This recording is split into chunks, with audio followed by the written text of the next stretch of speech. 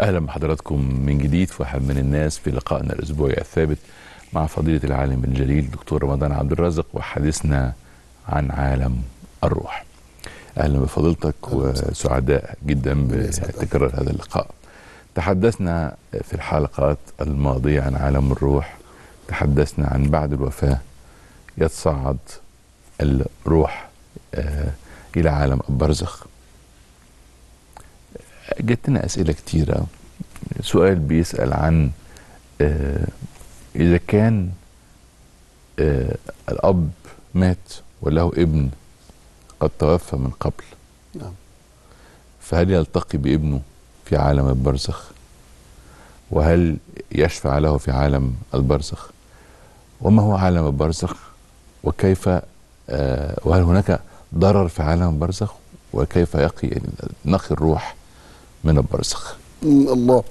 اولا سعادتك لو لو حد بسم الله الرحمن الرحيم مات له ابن قبل كده الابن ده بإذن الله يشفع له ولوالديه والأم يوم القيامة. ال ال الأب مات له ابن فبيبكي بكاء شديد. فسيدنا النبي صلى الله عليه وسلم قال له أيسرك أنك ما أتيت يوم القيامة إلى باب من أبواب الجنة إلا وجدته ينتظرك؟ على كل باب من أبواب الجنة. رايح الباب ده تلاقيه مستنيك يقول لك تعالى يشفع لك يدخلك الجنة. سيدنا النبي صلى الله عليه وسلم قال لنا حديث حلو قوي إنه لا يموت للإنسان ثلاثة من الولد إلا كن له حجابا من النار وباب إلى الجنة. قالوا لي يا رسول الله واثنين قالوا اثنين.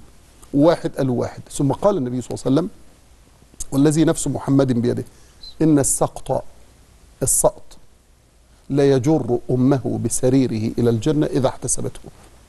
يعني تخيل حضرتك كده كأنها صورة يوم القيامة واحدة ست سقطت. سقطت بقى من حمل عادي سقطت من حقن مجهري. الحقن المجهري كان فيه ثلاثة سقطت ثلاثة ليها ثلاثة عند ربنا. عملت عملية الحقن المجهري ثلاث أربع مرات في كل مرة اتنين اضرب في ثمانية مستنيين يوم القيامة يشفعوا لها عند الله عز وجل. حق ربنا. هما نطفة. وهم مي شوية دم. شوية دم. سقط. لأن سبحان الله يا دكتور عمرو مجرد ما يتقال بداية حمل القلوب والعقول تتعلق به. الأب بيحبه لسه ما شافوش والأم متعلقة به ترجو أن يتم الله. طب إذا سقط؟ في ألم شديد. فالألم ده عند رب عند ربنا ما يضيعش ابدا. والذي نفس محمد بيده إن السقط لا يجر أمه بسريره إلى الجنة إذا احتسبته. ياخد تخيل حضرتك زي ما يكون جاي لها بعربية يقعدها على العربية هي والأب والناس بتتحاسب يوم القيامة وهو ماشي. دخلهم الجنة. لما يدخلوا الجنة أول قصر يقابلوه ممكن يكون عندهم 100 قصر. أول قصر يقابلوه عنوانه قصر الحمد. قصر إيه يا دكتور؟ الحمد. الله يبارك في عمرك. لأنه ربنا يقول للملائكة قبضتم ولد عبدي. آه. قبضتم ثمرة فؤاده. نعم. آه، قبضتم مهجة قلبه. نعم. ماذا قال عبدي؟ والله أعلم. قال وحمدك واسترجع. يعني قال إن الحمد لله إن الله إن إليه راجعون. فيقول الله عز وجل ابنوا لعبدي بيتا في الجنة وسموه بيت الحمد.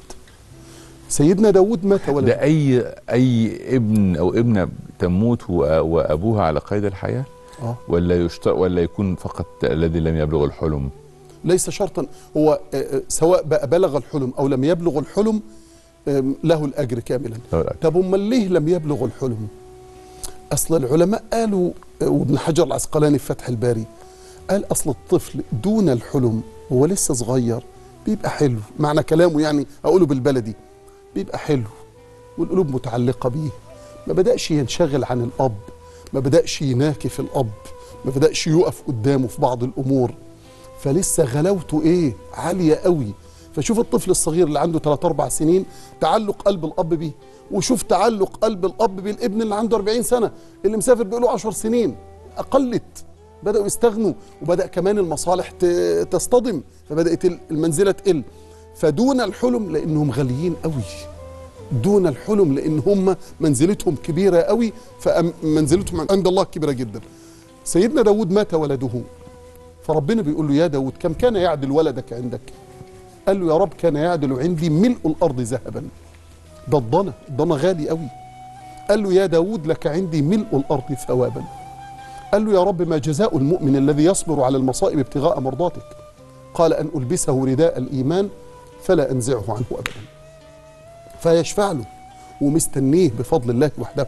لأن الشفاعات دي نعمة من ربنا غير عادية.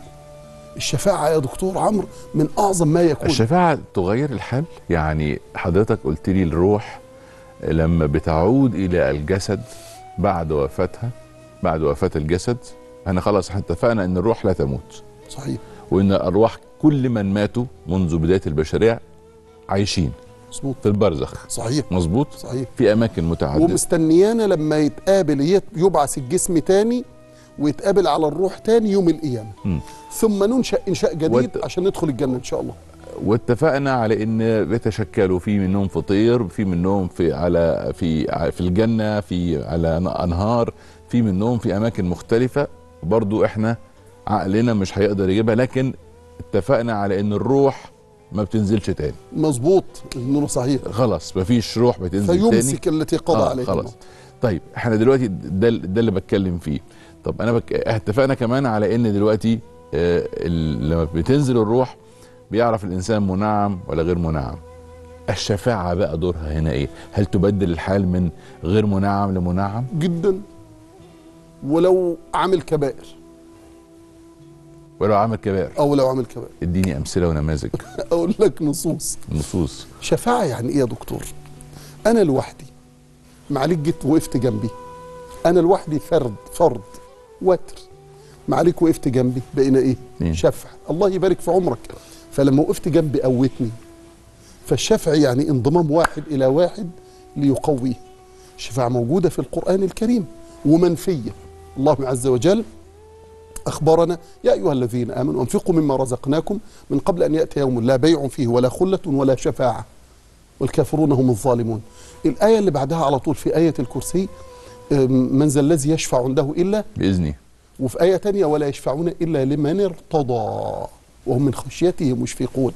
يبقى أنا عندي الشفاعة المقبولة مشروطة بشرطين بإذن الله ورضا الله. في شفاعة منفية اللي هي شفاعة الكافرين فما تنفعهم شفاعة الشافعين؟ ما للظالمين من حميم ولا شفيع. فالشفاعة المنفية الشفاعة بدون إذن وبدون رضا والشفاعة من غير المسلمين. طيب الشفاعة تعمل إيه يا فندم؟ الشفاعة تغير كل الأحوال. سيدنا النبي صلى الله عليه وسلم له يوم القيامة تسع شفاعات يا دكتور عمرو. تسع شفاعات تغير كل حاجة. ممكن سيدنا النبي محمد صلى الله عليه وسلم يشفع في أهل الكبائر.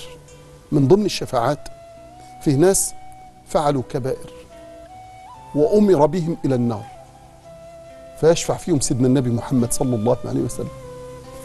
أوقف غفرنا لهم أدخلهم الله الجنة. الدليل حديث النبي صلى الله عليه وسلم شفاعتي لأهل الكبائر من أمتي. في شفاعة خلي بال حضرتك هت آه، آه، الرحمة بتاعت هذه الشفاعة تنال المسلم وغير المسلم. يعني سيدنا النبي محمد صلى الله عليه وسلم شفاعته تنال غير المسلم لأن هو رحمة. لمين؟ ما قالش للمسلمين وما أرسلناك إلا رحمة للعالمين. الشفاعة العظمى يا فندم أول شفاعة لسيدنا النبي محمد صلى الله عليه وسلم تنال المسلم وغير المسلم. لأن ساعتها ربنا هيقبل شفاعة سيدنا النبي صلى الله عليه وسلم فيبدأ الحساب للجميع. لأن يوم القيامة مقام والكل تعبان والكل مجهد والكل محتاجين يلا بينا نبدأ ال ال الحساب. انتظار الحساب صعب انتظار الحساب مجهد. فيروحوا لسيدنا آدم يقول لا لا لا ما أقدرش. نفسي نفسي. لسيدنا إبراهيم نفسي نفسي. لسيدنا موسى نفسي نفسي. لسيدنا عيسى نفسي نفسي. اذهبوا إلى محمد. فسيدنا النبي محمد صلى الله عليه وسلم يقول أنا لها. فينطلق يسجد تحت العرش فيلهمه الله عز وجل. أسماء لم يلهمها لغيره. أقول لحضرتك إزاي؟ اتفضل. هي أسماء الله محصورة؟ لا. الله يجبر خاطرك لا. هناك أسماء ما حدش يعلمها. لا مش 99 الله يجبر خاطرك يقال إنها فوق ال 250 فوق وأكتر وأكتر. وأكتر, ده ده يا فندم. اللي, اللي ألهمنا الله به. في أسماء استأثر الله بها. نعم. ولذلك إحنا نقول إيه؟ أسألك بكل اسم هو لك. الأعظم. سميت به نفسك أو أنزلته في كتابك آه. أو علمته أحدا من خلقك أو استأثرت به في علم الغيب أيوه عندك. مما استأثر الله به في علم الغيب عنده يلهمه الله عز وجل سيدنا رسول الله صلى الله عليه وسلم وهو ساجد تحت العرش يطلب الشفاعة. في إقامة الحساب. فربنا يقول له يا محمد ارفع رأسك وسل تعطى واشفع. تشفع. الله أكبر. اسمها الشفاعة العظمى وتنصب المحكمة الإلهية. وتغير الحال. جدا. تغير الحال بإيه؟ من نار إلى جنة. وممكن طيب من ضمن شفاعات سيدنا النبي محمد صلى الله عليه وسلم ناس في في جهنم. ويعذبون. بس ده إحنا هنا إحنا بنتكلم هنا إيه في يوم القيامة بقى؟ يوم القيامة. آه. إحنا خلاص تجاوزنا بقى القيامة الصغرى ودخلنا في القيامة الكبرى. بالظبط يا فندم. اللي هي بقى يوم القيامة. المحكمة منصوبة. آه. تمام؟ وممكن نبقى نقف عندها شوية كده لكن إحنا هناخد بس فقرة منها اللي هي فقرة الشفاعة بس. امم تمام؟ وطب سيدنا النبي هيعرفنا إزاي؟ إزاي؟ يوم القيامة. يوم القيامة أحوال وطارات. يعني أحوال تلاقي فيه ضلمة جامدة جدا. محدش شايف خالص. من لم يجعل له له نورا فما له من نور. فجأة تلاقي حضرتك ربنا مديلك نور قد نور الشمس بعملك الصالح. تمشي على الصراط لما تروح الجنة. وأنا جنبك بتمشي. بقى إيه آه، جثمان وروح. أيوه طبعا. ما هو الجسم بقى بعث والروح اتقابلت عليه في يوم القيامة. لكن طول ما الروح آه، لم تقم تقم القيامة الكبرى في البرزخ لوحده الروح لوحدها والجسم عظم الذنب فقط هو اللي متبقي. الله يكبر خطرك مفيش حاجة تربطهم ببعض. مظبوط. لكن في اتصال ما بين المكان الذي دفن فيه الميت وما بين الروح في البرزخ. إزاي؟ يعني أنا لو رحت دلوقتي القبر الذي دفنت فيه أبي أبي فانية. آه. عجب الذنب اللي موجود. السلام عليكم ورحمة الله وبركاته.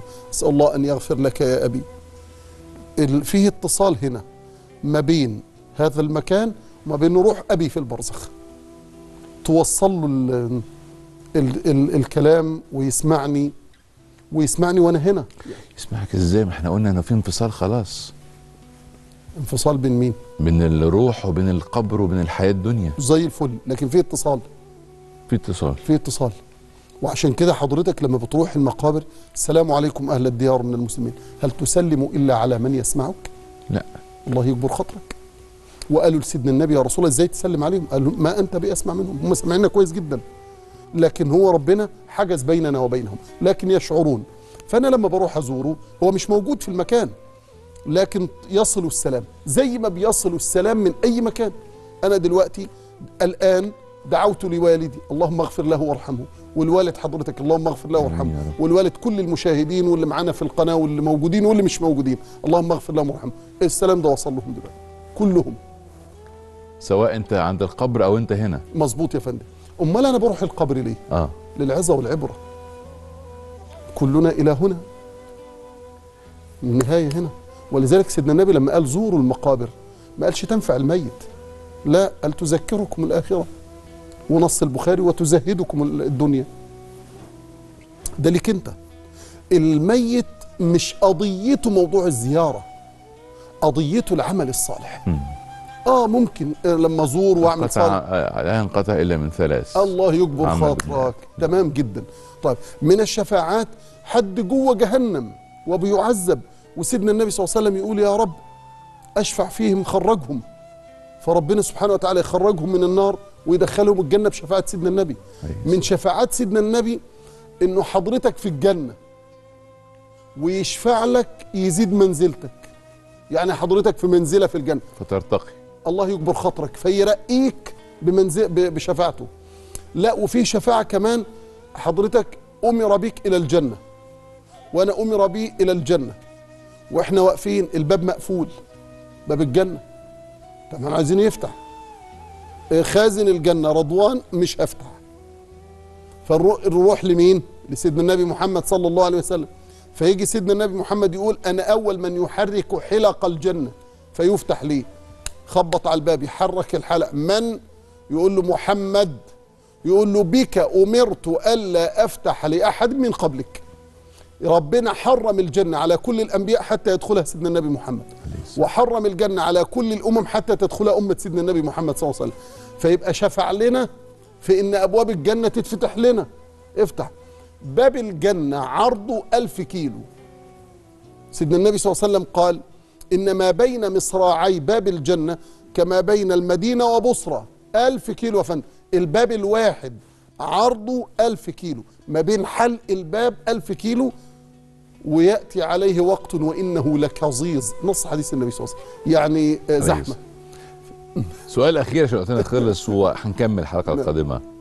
حد بعت يسألني هو بمعنى كده اللي يقول لك أنا بقدر أح- أحضر روح فلان ده كاذب مش صادق؟ كاذب اللي يدعي استحضار الأرواح كاذب نصاب دجال. الأرواح عند الله لا ترجع إلى الدنيا قال الله عز وجل فيمسك التي قضى عليها الموت. قال النبي صلى الله عليه وسلم في الحديث القدسي سبق القول مني إنهم إليها لا يرجعون. اذا الحلقة القادمة هنسأل الشيخ الدكتور رمضان عبد الرازق الف- الفرق بين الروح والنفس والقرين الأسبوع القادم إن شاء الله.